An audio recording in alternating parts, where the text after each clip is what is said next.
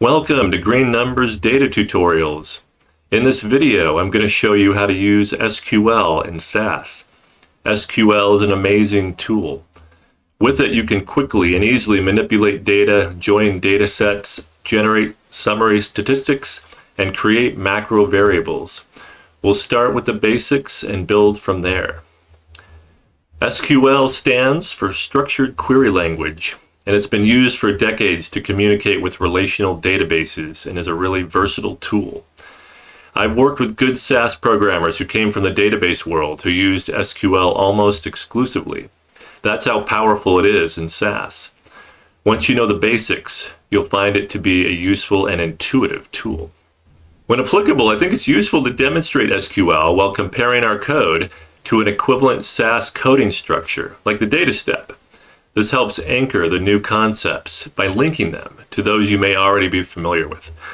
For example, in example one, proc print prints the dataset SAS help stocks to the result window. And we can do the same thing in SQL. So in SAS, SQL code is, in, is encased in the SQL procedure, procSQL.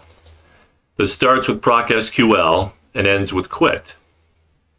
The very basic keywords are create table, select, and from. In this example, we're not going to use create table, so let's get rid of that. And although select is much more powerful, at the beginning it's helpful for you to think of it as the keep statement in the data step. And in this example, we use an asterisk, which means select everything or keep everything. From is analogous to the set statement in the data step. In this example, we're printing data from sashelp.stocks. First, I'll run the data step.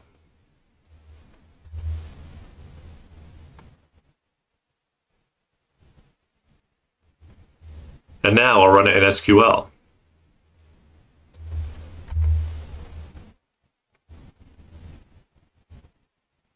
And you can mm-hmm. see how our SQL is generating the same output as our proc print.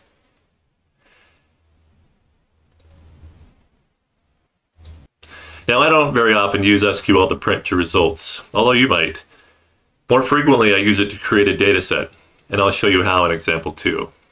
In example 2, we use the data step to create a new data set named demo.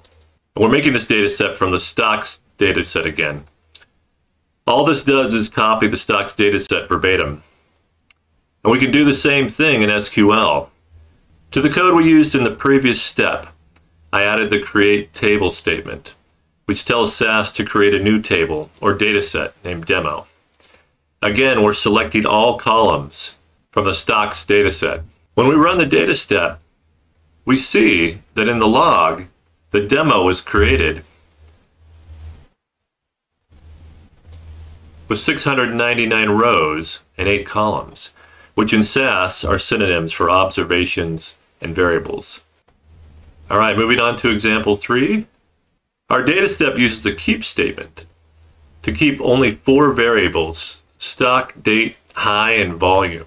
Our equivalent SQL code uses the select clause to return those four columns. One advantage to SQL, though, is that you can easily reorder these columns. If we want to put volume first, we just have to move it to the front.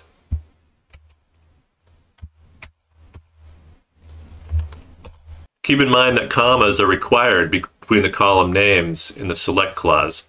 And make sure you don't put the comma at the end. This is a common reason for errors in SQL.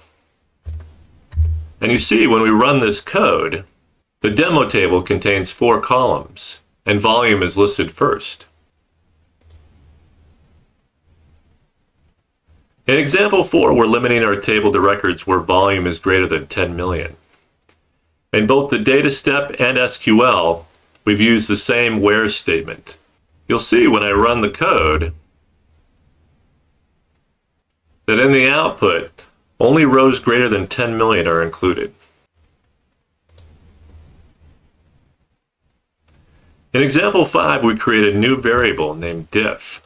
Diff holds the difference between the opening value and the closing value. The syntax for the SQL code is a little different than in the data step. The calculation is listed first, then the assignment to diff is after the as. Let's look at the output.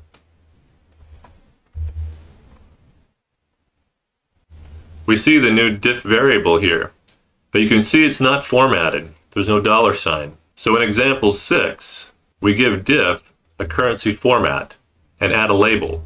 In the data step, we use the format statement to give diff a format of $8.2, which is the same format as open and close. In SQL, we use the format option to apply the currency format to our diff column and the label option to apply the label. When we look at the output, we see that diff now has a format and a label. In example 7,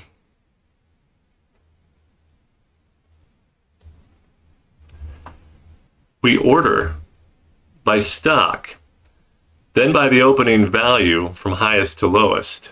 But we need a separate proc sort to go with our data step data set. But in our SQL, we added an order by within the same SQL block.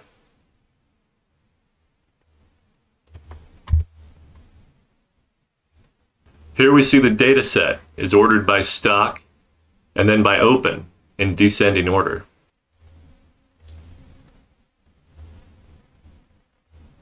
For our last example, I simplified the code because it's a little more complex. In the data step, we added a new variable named result. Result equals gained if diff is greater than zero, lost if diff is less than zero, or same if there was no change. Notice that we added a length statement to set the length for the result to six characters.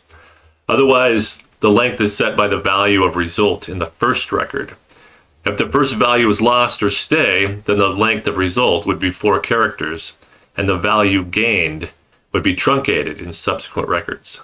Then we added equivalent code in SQL using the case expression.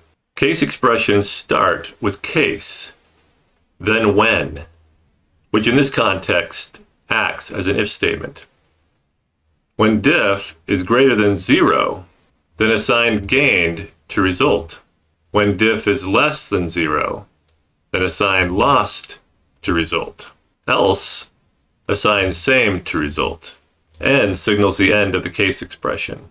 Notice that because we refer to column diff that was created in the same select clause as our case expression, we need to add the calculated component before diff.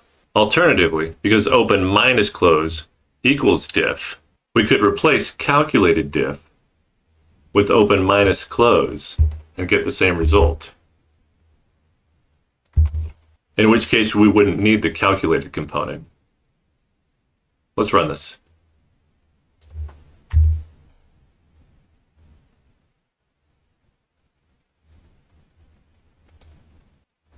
Here's our result column with the values we were expecting. And that's it for this video. If you practice and become familiar with these fundamentals, I promise you the more complex SQL code will come much more quickly. In the next video, we'll go in depth on maybe the most powerful feature of SQL, joins.